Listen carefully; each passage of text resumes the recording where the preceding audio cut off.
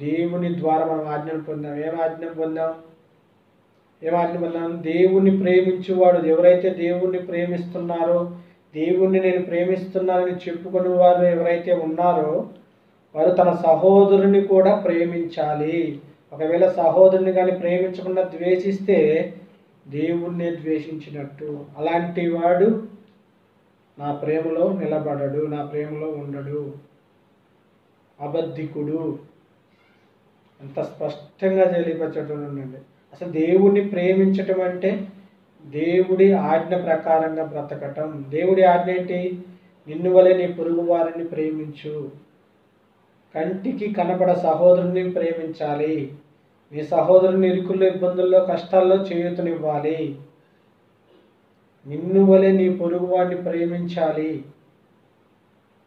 ప్రేమించటం అండి. ప్రేమించడం అంటే ఇక్కడ ఏంటి? బాధ్యత అండి. పని క్రియ. అంతేకాదు నేను నేను ప్రేమిస్తున్నానని చెప్తే సరిపోతుందా? నిన్ను నేను ప్రేమిస్తే సరిపోతుందా అండి? నోటి మాట ద్వారా చెప్తే సరిపోతుందా? దేవుడు కూడా నేను నిన్ను ప్రేమిస్తున్నానంటే సరిపోతుంది? దేవుడు కూడా మనల్ని ప్రేమించాడు. మనల్ని ప్రేమించమన్నాడు. అర్థమవుతుందా? దేవుడు మనల్ని ప్రేమించాడండి. మనల్ని కూడా ప్రేమించమన్నాడండి. దేవుడు మనల్ని ప్రేమించాడు. ఎలా? చూడండి. ఇదే యోహాను పత్రిక నాలుగో అధ్యాయం ఏడవ వచనం నుంచి పదవ వచనం వరకు చదువుతాం చాలా స్పష్టంగా ఉంటుందండి బైబిల్. దేవుడు కూడా మనల్ని ప్రేమించాడండి. నేను నిన్ను ప్రేమిస్తున్నాను అని చెప్పి దేవుడు ఏమన్నా కలిగి ఉన్నాడండి? ఆ ప్రేమను ఒక బాధ్యతగా ఒక క్రియగా తీసుకొచ్చాడండి. చూడండి.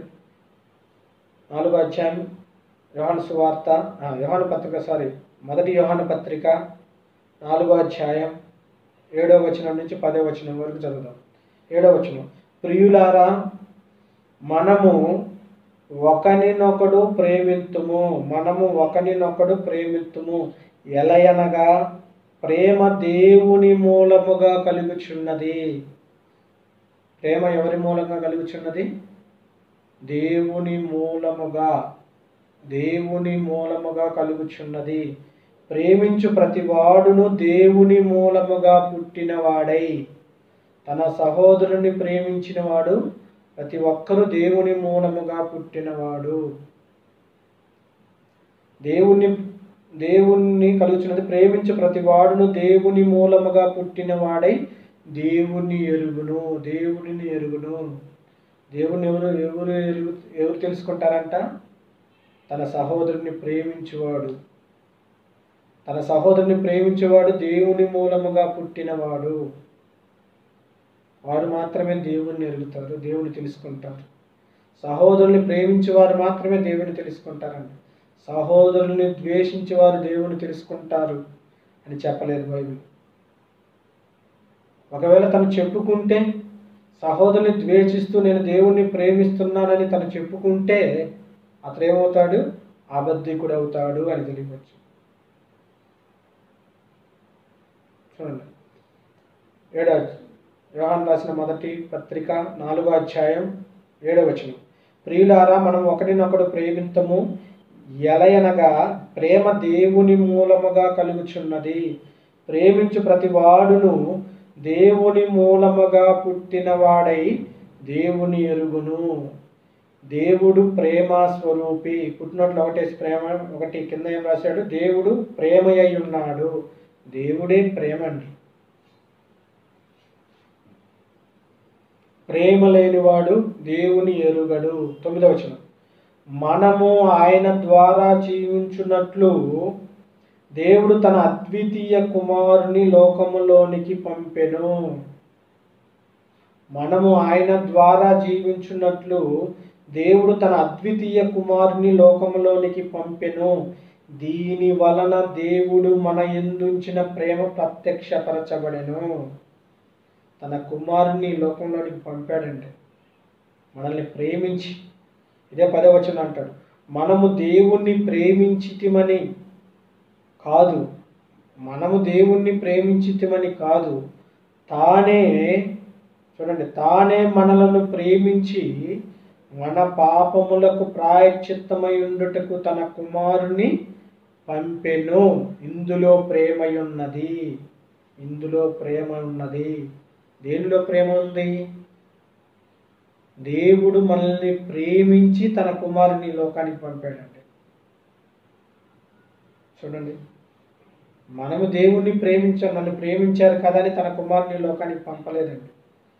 దేవుడే మనల్ని ప్రేమించి మన నిమిత్తము మన పాపముల నిమిత్తము తన సొంత ప్రియ కుమారుని లోకంలోనికి పంపించాడండి. ఇందులో ప్రేమ ఉందండి ఇందులో ప్రేమ ఉందండి. ఇందులో బాధ్యత క్రియ చూడండి. తన ప్రేమను ఏ విధంగా కనపరుచుకున్నాడు? దేవుడు తన కుమారుని మన కొరకు ఈ లోకానికి పంపించాడండి.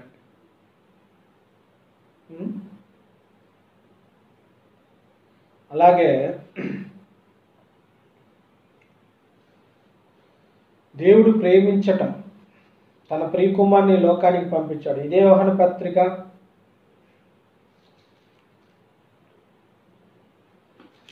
చూడండి. యేసుక్రీస్తు తన కుమారుణ్ణి లోకానికి పంపించాడు. అలాగే యేసుక్రీస్తు కూడా దేవుడు మనల్ని ప్రేమించి తన ప్రియకుమారుని ఈ లోకంలోనికి పంపించాడండి. అలాగే యేసుక్రీస్తు కూడా తన తండ్రిని ప్రేమించాడండి. చూద్దామా? అది కూడా వచనాలు కూడా చూద్దాం. యోహాను సువార్త యోహాను సువార్త పదిహేనో అధ్యాయం. దేవుడిని ప్రేమించటం అంటే దేవుడి ఆజ్ఞలను పాటించటం. ఇన్నువలే నీ పొరుగు వారిని ప్రేమించటం సహోదరుని ప్రేమించటం అండి. సహోదరుని ప్రేమించటం. దేవుని మూలంగా పుట్టిన వారందరినీ ప్రేమించటం అండి. ప్రేమి దేవుణ్ణి ప్రేమించటం అంటే సహోదరుని ప్రేమించటమే దేవుణ్ణి ప్రేమించటం. అలాగే యేసుక్రీస్తు కూడా ఈ లోకంలోనికి వచ్చిన తర్వాత మనల్ని ప్రేమించాడండి. మనల్ని ప్రేమించటమే దేవుణ్ణి ప్రేమించటం. చూడండి ఇంత స్పష్టంగా ఉంది బైబిల్. చూడండి యోహాను స్వార్త పదిహేనో అధ్యాయం పదో వచనం.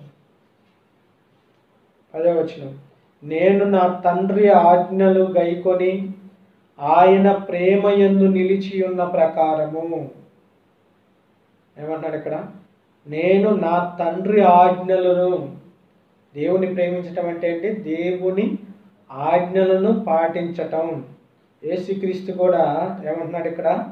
నేను నా తండ్రి ఆజ్ఞలను పాటించటం వలన చూడండి. నేను నా తండ్రి ఆజ్ఞలను గైకొని ఆయన ప్రేమ ఎందు నిలిచి ఉన్న ప్రకారము. దేవుణ్ణి మనం ప్రేమించటం అంటే ఆయన ఆజ్ఞలను పాటించటమేనండి. యేసుక్రీస్తు కూడా ఇక్కడ ఒక మాట అంటున్నాడు.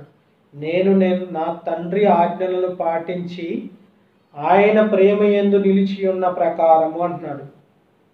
తండ్రి ఆజ్ఞలు యేసుక్రీస్తు పాటించాడు కాబట్టి తండ్రి ప్రేమ యందు యేసుక్రీస్తు నిలిచి ఉన్నాడండి. చూడండి. నేను నా తండ్రి ఆజ్ఞలు గైకొని ఆయన ప్రేమ యందు నిలిచి ఉన్న ప్రకారము మీరును నా ఆజ్ఞలు గైకొని ఎడల నా ప్రేమ ఎందు నిలిచి ఎందురు? అంత స్పష్టంగా ఉంది చూడండి.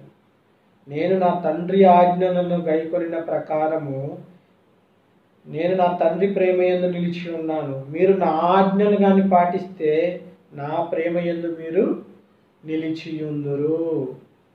ఇక్కడ తండ్రి కూడా తండ్రి ఆజ్ఞలను పాటించిన కుమారుడండి.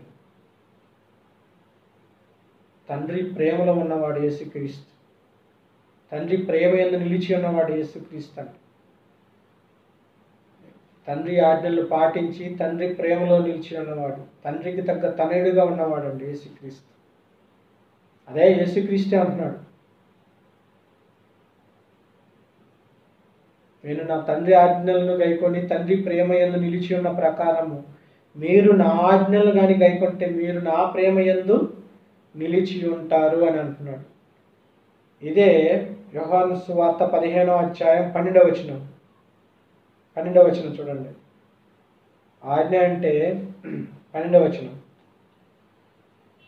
నేను మిమ్మును ప్రేమించిన ప్రకారము అసలు ఆజ్ఞ ఏంటి? యేసుక్రీస్తు చెప్పిన ఆజ్ఞ కూడా ఏంటి?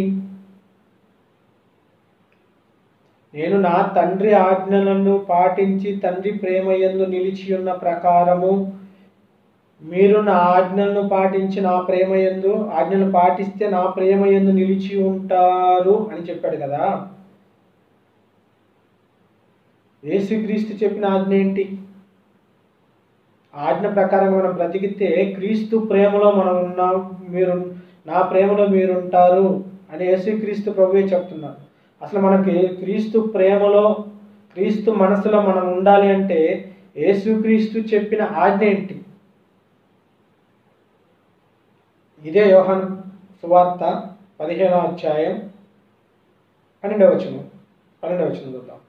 నేను మిమ్మును ప్రేమించిన ప్రకారము చూడండి ఎంత స్పష్టంగా ఉందో. నేను మిమ్మును ప్రేమించిన ప్రకారము ఇందాక దేవుడు ఆజ్ఞ ఏంటి? తోటి సహోదరుల్ని ప్రేమించిన వాళ్ళే నా ప్రేమలో ఉంటారు. దేవుడు ఆజ్ఞంది తాను చూసిన సహోదరుని ప్రేమించని వాడు తాను చూడని దేవుణ్ణి ఎలా ప్రేమించగలడు? తాను చూసిన సహోదరుని ప్రేమింపని వాడు తాను చూడని దేవుణ్ణి ఎలా ప్రేమించగలడు?